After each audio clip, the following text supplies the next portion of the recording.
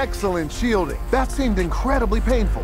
Anybody want to switch powers? What could be better than superheroes? Superhero pet sidekicks, obviously. In a world where DC and Marvel continue to fight for dominance, DC pulled League of Super Pets out of its back pocket and brought something brand new to the table.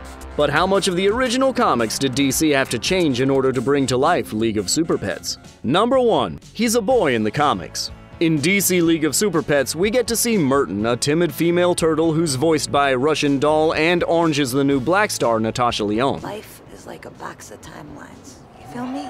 But in the original comics, we first see Merton in Funny Stuff Volume 1. One major difference? Comic Merton is a male turtle who gets experimented on to test how superpowers and super honesty mesh together. Number 2. No super suit in sight. Besides not being a male, Merton in DC League of Super Pets is a little bare. In the comics, Merton wears a suit with lightning bolts on it and boots and a helmet to match, in order to represent his owner. Merton in the film wears nothing but her shell and occasionally a pair of glasses to correct her vision. Their powers also work a little differently in the two realms. In the comics, Merton loses their shell completely when putting on the speed, but in the film, the shell is still very much attached to her. Where the heck am I?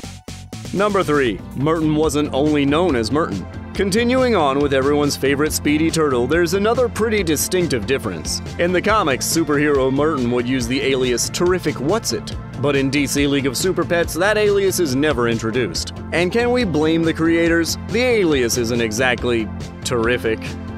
Number 4. He has a major personality change. When you flip through the DC comics, you'll meet Chip, a rebel fighter hero. But in this film, the rebel hero is nowhere to be found. Instead, we have a weary squirrel sidekick who can't quite figure out how to handle his newfound electrical powers. Great. I'm the only one who didn't get any superpower.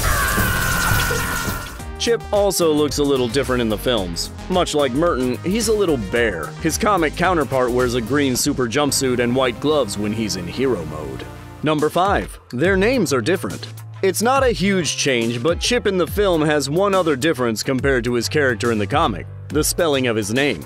In the film, the creators went for the classic spelling Chip, but in the comics, his name was spelled as Chip with an apostrophe and no I. There's been no official reason behind the name change, but maybe it was because they just wanted to simplify it. Number 6. She's an original character. DC League of Super Pets didn't just stray away from how their characters looked, it also created brand new original characters to add to the storyline. Characters like PB, a very overly happy pig who takes pride in letting her emotions flow freely. I guess you could say she wears her heart on her sleeve. As for her superpower, she has the ability to grow in size and become as tall as a skyscraper. Oh, and she also loves Wonder Woman. The mighty oink! Number 7. Another original character. Like PB, Lulu is also a new original character to the DC universe. But unlike PB, she's the antagonist to the Super Pets. She's a guinea pig who was a lab experiment. Check out her ear tag. Which resulted in her getting telekinetic powers and the capability to control a whole team of guinea pigs to do her bidding. To top it all off, she wears kryptonite around her neck, Superman's greatest weakness. Oh, and she also has a really cool cape. Aw, aren't you a little ray of sunshine? Number 8 is stripped of his powers. Krypto, as we all know, belongs to Superman and is probably the strongest and most experienced super pet of them all. My dog's the best. In fact, in the comics, a lot of the plot relies on the super dog's powers, which are the same as his owner's, to save the day. Wake up, buddy. It is walk o'clock. But in League of Super Pets, Krypto is stripped of his powers and has to rely on a band of misfit pets who have accidentally been given powers to succeed.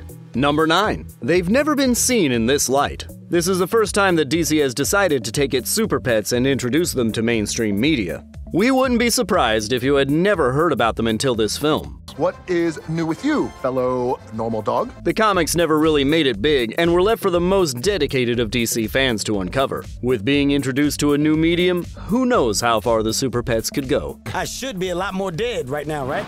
Number 10. He dresses a little differently.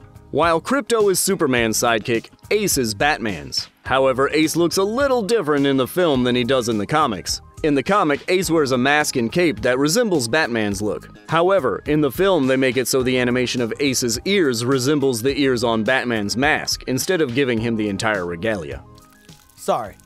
You were saying something? Number 11. Backstories have been altered. In the comics, a lot, if not most, of these pets have terrifying and traumatic backstories that include horrid lab testing and tragic events. But in the DC League of Super Pets, these pets get their powers after an explosion where they were in the right place at the right time. Except Krypto, of course. What's going on? This avoids all those dark backstories, probably because they needed to keep the film family friendly. Number 12. Due to their erased backstories, piggybacking off of our last point, because their backstories have been erased and replaced with a more PG story, there's something else completely different. None of these pets besides Krypto actually belong to their superhero counterparts yet. Have you noticed any other differences between DC League of Super Pets and the original comics? How do you think this film can impact that world of DC going forward? Let us know in the comments section below. And if you liked this video, make sure you hit that subscribe button and give it a big thumbs up. Thanks for watching The Things Animated.